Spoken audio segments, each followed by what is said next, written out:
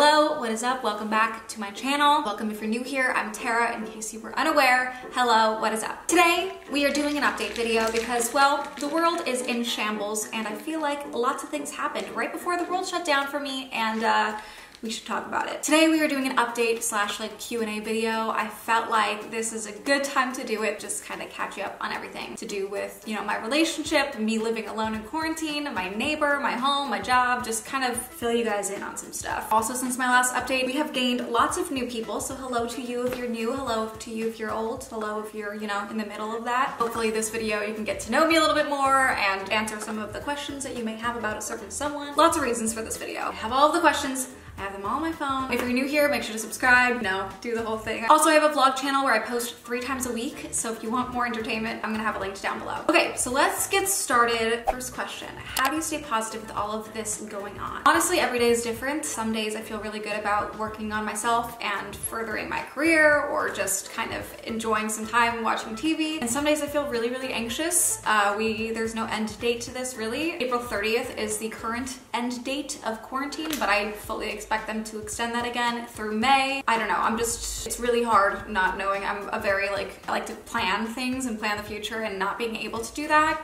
gives me a lot of anxiety and also just like touching anything, I'm just so nervous that I'm gonna end up getting sick and I am alone and I'm really nervous I'm gonna be sick and I won't be able to take care of myself. But besides that, I feel okay. No, normally I, I really try to spin it into it like this is an opportunity to work on my, myself and whatnot, but it can be, it can be hard. So so I'm definitely not always positive about it. Are you becoming an alcoholic? Sorry, love you though. So since quarantine has started, I have also been drinking a glass of wine a night.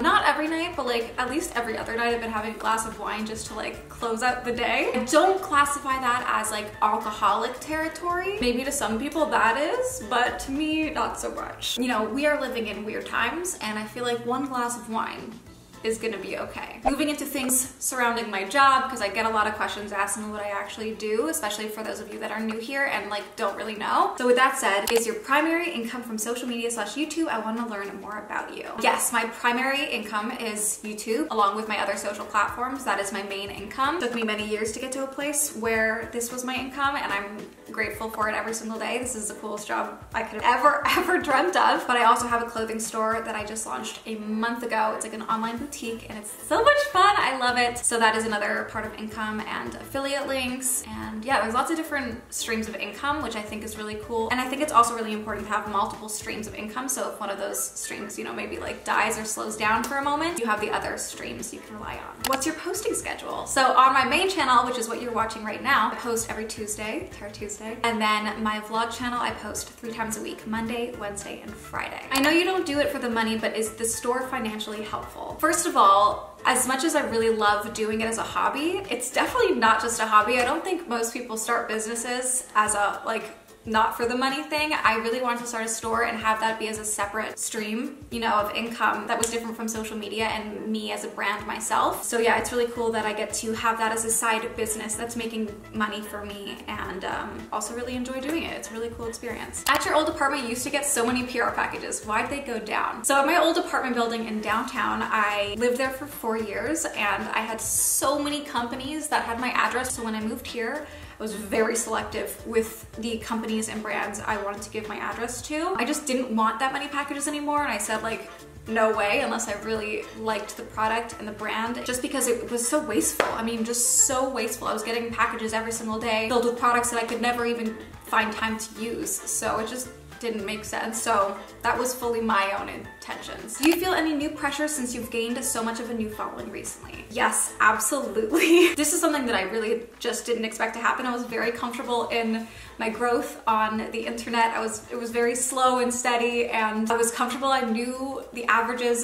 that videos should be getting. I knew what my Instagram story views were like. I knew what likes I was gonna get on a photo. Like I was very comfortable with my averages and I knew what to expect. It is a totally different ballgame now. Ever since I started posting my videos about my neighbor on TikTok, shout out to you guys from TikTok, everything kind of changed, which is a little bit crazy because it just I don't know, I just didn't really expect it. I knew I was posting these videos, but I just didn't realize the reach that TikTok had. Like my averages that I was used to have now doubled and it definitely creates a new sense of anxiety because there's like double the amount of eyeballs I feel like watching every single day and that's double the amount of opinions and people that I can disappoint and it's stressful and I worry that since it happens so quickly that it's also going to die just as quickly. This is, I'm just being straight up honest here. Yeah. So I definitely, there's definitely added pressure. At the same time, it's like the craziest, coolest experience watching all of these new people come in and say how they found me and appreciate these videos and I mean, it's really wild, it's really cool. So if you're new here, hi. Um,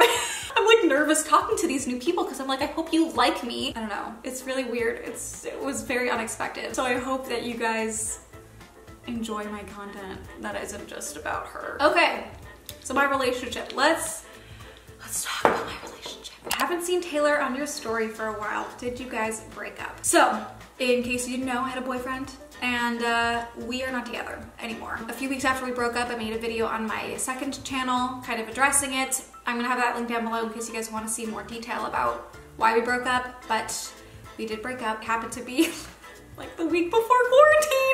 I wouldn't, I just wouldn't have believed anyone if someone had said, haha, like you're gonna break up with your boyfriend and then you're gonna be alone for months. I would not have believed it. You seem to be doing a lot better this time around after breakup, or is it just what you show? So I actually am doing really well, all things considered. When I made the decision to end the relationship, I really just wanted to find myself. I really wanted to gain independence, gain a new routine that was just me and like self-care driven. I just wanted to better myself. I felt like I just wasn't I wasn't where I should be and I really wanted to like boost it. And I just straight up wanted to be better. I just wanted to better myself. So, I mean, literally the universe pushed us into work on yourself territory. Broke up with my boyfriend who, uh, you know, basically lived here. And then all of a sudden I am dead ass alone dead ass alone. But this has literally given me the opportunity that I wanted in a very weird, skewed, messed up way. So I really do feel like I am okay and this has given me an opportunity to work on myself while everything is paused. The entire world is paused. It's like the weirdest experience in the world, but I am trying to look at it as a positive. Not the virus part, but like the quarantine part. I'm trying to skew it into a positive. Obviously the, the virus cannot at all be skewed into a positive. Are you dating again? So as we all know, the world has shut down and uh, there are no bars or restaurants or anywhere you could meet a band. But for fun, I have downloaded the apps and, you know, while I'm sitting on my couch watching Tiger King, I'm just scrolling and like talking to random guys, but I wouldn't consider it dating or anything like that. Moving on to questions regarding my neighbor. I get so many questions every single day on every single platform that I have, every single day. Is there a small part of you that is happy your neighbor is insane for the content? I would be lying if I said no, obviously. If I have to deal with a neighbor like that, I may as well find some kind of silver lining, which is this. Content has been so good for like I like I can't even believe it's real stuff. Like this is like straight out of a movie. So in that sense, it's been very entertaining for my life, for my friends, for my family, for you guys. It has obviously been very hard on me and my anxieties, but since the fence is up, and like taken care of and she can no longer see me downstairs or my patio. I feel very good about it. I feel my anxiety's lifting every single day. So yeah, I think it was, it was a really weird thing to go through, but I'm happy that I had you guys to share it with. And yeah, if that's the silver lining, then so be it. Has your living situation improved since you put the fence up? Yes, 100% yes. After the fence went up, I didn't have any more interactions with her, which is amazing. Obviously she went on the radio. If you haven't seen that, I'll link that video down below. Actually, I'll just link the whole playlist with every single thing that has to do with her down below so that you can find everything. She hasn't sprayed me with a hose or yelled at me through the fence or anything like that. So I feel really at peace. I feel great. I feel like my life is back and I can live again and yeah, it's awesome. I was a crazy neighbor. Is she suing? So she's fine. She's doing her own thing. I mean, yes, she has a chair propped up at the top of her lawn that does face the building and like who knows what she's looking at because it's her only view. But I'm not letting it bother me anymore. I'm only in my bedroom at night and I close my blinds at night so I really don't care. And she can't see anything down here and that's all I cared about because this is where I spend most of my time. And uh, she has not served me yet. I have not had someone serve me. I was very anxious about that happening but it's been a while since she said she was gonna sue me so I'm assuming she is not suing because she would have done it if she was gonna do it. Are you still building another fence on the property line? So I don't have an update on this but the HOA did say that they were gonna file a claim and get that land back and actually build a fence on the right property line. I just don't know where that is at in the process right now, but I will keep you guys updated if I hear more about that. And that's really it when it comes to my neighbor. I don't expect there to be any like crazy drama coming up. And then again, I have said that before and like then things happen.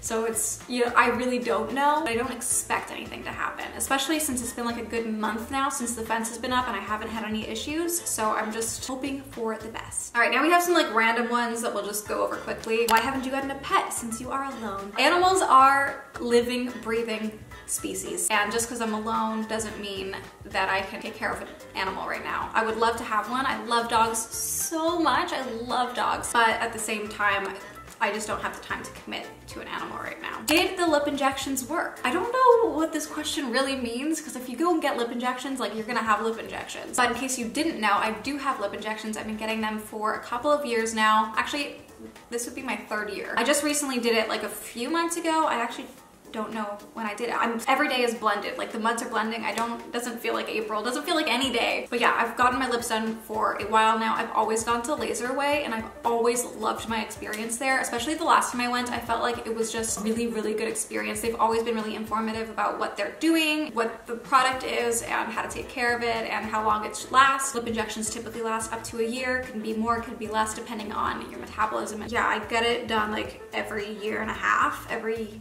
year. And I really love it. I love the way it looks. I'm really happy with it. I have a whole video on my latest experience getting my lips done, so I'm gonna link it down below. But I honestly really love Laser LaserAway. I loved going there. I thought everyone was really professional. Do you regret buying a condo over a house with more privacy? Actually, no. I've gone back and forth on this, like dealing with the neighbor, I really definitely thought about that. But now looking at it, I'm actually really, really happy that I ended up in a condo rather than like a, my own standalone house. Especially like being alone. I don't know, I just, and I'm so young too. That's also the thing. I'm 25 years old. I don't know, if, I think if I had bought a house, and this is no shade to anybody, this is just my own personal preference. If I had bought a house, it's like, there's not as much to look forward to because you, you've done it, you know? Obviously you can move and like get a bigger house, but I don't know, I liked moving in steps, you know, moving from an apartment to a condo and then one day when I want to have a family move into a house, you know, like just steps. I didn't want to speed up my life too quickly and for me it would have felt that way. And last but not least, a very hard hitting question. When it rains, are you leaving your egg chair outside? I can't even tell you the amount of times I got that question because it was raining in LA yesterday and so many people were blowing me up like, oh my god, what are you doing with your egg chair? You have white cushions. I would never let my egg chair, in case you don't know, I have an egg chair, the beautiful one from Target that I have dreamt of for literally two years. I would never let that chair get ruined ever, ever, ever, ever. So the night before it said it was gonna rain, I took those cushions inside and they're sitting in the corner there, safe and sound, not dirty at all. And then once it stops raining this week, they will go back outside. And then if it rains again, they'll go back inside. So yeah, that's that's my plan with the egg chair. Thank you for your concern. okay, I've been talking for like an hour straight. We'll see how long this video ends up being, but I hope you guys enjoyed watching it. I hope you learned a little bit. I hope you just enjoyed this entertainment if it was entertaining at I hope you guys are doing well. This is a really crazy time and we are all in it together. Like literally we are all in it together and if you ever just need to talk or rant, you can absolutely DM me on Instagram and I will do my best to get back to you. Because I understand it's hard, every day is different, every day there's new news coming out and it's it's a really scary time. But if you are in a home with people you care about or just in a home by yourself, there are things to be thankful for. You know, having a roof over your head, having food in the fridge. There are so many things to be thankful for in a time like this when not everyone is as lucky. So definitely make sure to count your blessings every day and uh, we'll get through this one way or another. I love you and I will see you guys in the next video.